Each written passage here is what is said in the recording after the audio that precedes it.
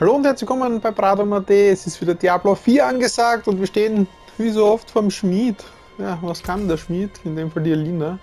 Wir können hier Gegenstand aufwerten. Das machen wir jetzt. Wir schauen uns an, was mein zweiter Gegenstand beim Aufwerten so alles machen kann. Ihr seht, im Moment hat er 612 Rüstung, 3,5% Verringerung und so weiter. Schaut, lest es euch durch, denn wir wählen das jetzt aus. Und jetzt können wir es hochleveln ein bisschen. Die erste Stufe kostet uns 640, dafür erhöht es die Rüstung um 9, die Kontrollbeeinträchtigung um 0,3%, die Sch der Schaden um 4%, äh 0,4%, Entschuldigung. ähm, Stark Stärke plus 2 und Fertigkeit des Typs Infusion auch 0,8. Bei der restlichen Stats, ihr seht unten 18% und so, das bleibt alles gleich. Da verbessern wir jetzt gar nichts.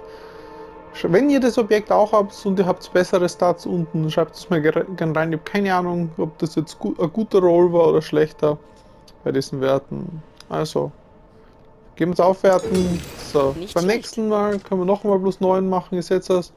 Jetzt haben wir das erhöht. Jetzt können wir es nochmal plus 9, ähm, plus 0,4, plus 0,3. Eine Stärke, diesmal nur plus 0,7% beim Tube Infusion. So, dann sind wir auf der dritt, auf der zweiten Stufe jetzt, jetzt können wir es auf die dritte Stufe auch noch aufwerten. Da wieder plus 9, plus 0,3%, plus 0,4%. Jetzt zwei Stärke, Fertigkeit, also Schaden für die Fertigkeit des Typs Infusion plus 0,8%. Das heißt, da geht es fast auf 10% jetzt da.